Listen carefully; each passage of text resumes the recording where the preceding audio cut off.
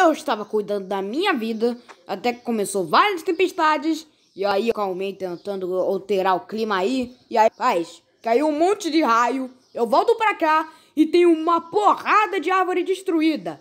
E coitado do estegossauro que sobreviveu aqui. Você não sabe as coisas do perigo? Quase que caiu um raio no seu cucuruco. No caso da cabeça.